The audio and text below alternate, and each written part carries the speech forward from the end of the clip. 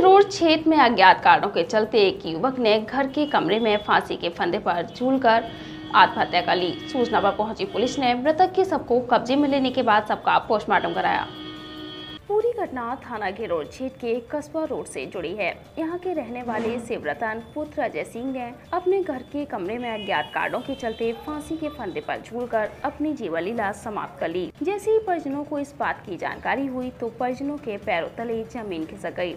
तत्काल परिजन कमरे की तरफ़ दौड़े और उन्होंने जो नज़ारा देखा तो सभी परिजनों के हाथ पैर फूल गए। घटना की जानकारी पुलिस को हुई तो तत्काल मौके पर पुलिस पहुँच गई। पुलिस ने मृतक के सबको कब्जे में लेकर सबका पोस्टमार्टम कराया। वहीं खबर लिखे जाने तक इस बात की जानकारी नहीं हो पाई थी कि मृतक ने फांसी के फंदे पर झूलकर अपनी जीवन लीला समाप्त क्यों की है? पुलिस ने मृतक के शव को पोस्टमार्टम कराने के बाद परिजनों को सौंप दिया और घटना के बाद से पूरे घर में कोहराम मचा हुआ है। राजवर्धन। राजवर्धन ये मृतक हैं कौन है आपके? ये ताऊ जी के लड़के हैं। ताऊ जी लड़के। क्या हो गया? कैसे क्या इनकी मृत्यु हो गई?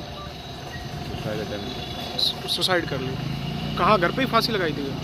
अच्छा आप लोग कब पता चला? सुबह। सुबह। कहाँ के रहने वाले थे ये रोड क्या उम्र थी इनकी? Thirty two. थर्टी टू बत्तीस। बत्तीस।